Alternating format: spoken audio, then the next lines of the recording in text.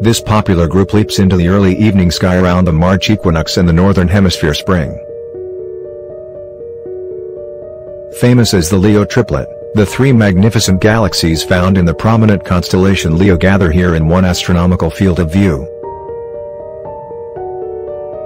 Crowd pleasers when imaged with even modest telescopes, they can be introduced individually as NGC 3628, left, M66, bottom right, and M65, top.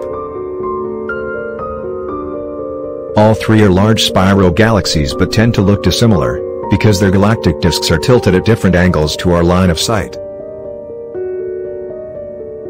NGC 3628, also known as the Hamburger Galaxy, is temptingly seen edge-on, with obscuring dust lanes cutting across its puffy galactic plane.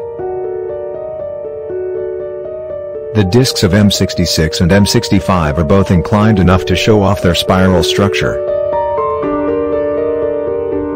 Gravitational interactions between galaxies in the group have left telltale signs, including the tidal tails and warped, inflated disk of NGC 3628 and the drawn-out spiral arms of M66. This gorgeous view of the region spans over one degree, two full moons, on the sky in a frame that covers over half a million light-years at the TRIO-S estimated distance of 30 million light-years.